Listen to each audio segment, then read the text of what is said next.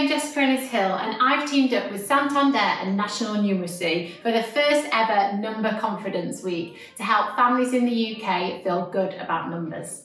Number Confidence Week is all about feeling more positive and confident when it comes to maths. Lots of people don't get on with numbers. National Numeracy and Santander know that many parents and carers in the UK struggle with maths, and that's why we've teamed up this Number Confidence Week to help families start to feel good about using numbers. Watching this series of videos and using the supporting resources and activities will help you and your children to enjoy numbers together. Being positive about maths helps our children to form the positive attitudes that are essential to their own success. You don't have to be a maths expert to be positive about numbers. Improving your own confidence can help you overcome any anxieties that you have when helping your children.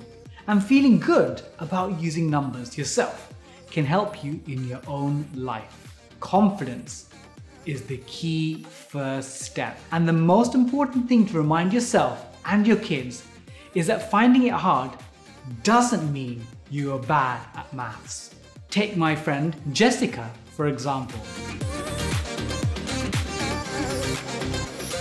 I would say at school, I, I found numbers quite hard at the beginning. It was something that I had to really concentrate on and focus on. Think it's really important to understand that the harder you work, the better you get. It's all about practice. And if you practice and you get confident with what you're doing, whether that's in a sporting context or relating to numbers, you will see improvements. And when you see improvements, you gain confidence. You may feel that you're hitting barriers all the time and um, you know you're losing confidence and you're not improving but actually just keep going keep that positive mindset keep practicing um, and it will come eventually and you will see improvements. It's like a sporting skill you know you have to train yourself to be better and i think that's the same with numbers. No one is born an olympic athlete.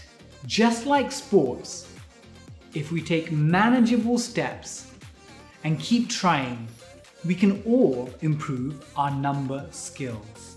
This program of videos and activities will help you and your children take maths out of the classroom. You'll hear from me and Jessica Ennis-Hill about how numbers can help us all achieve our own dreams and goals and that numbers can even be fun too. Confidence with numbers can help empower your children and make sure they have the key skills for their future. So grab your kids and keep watching.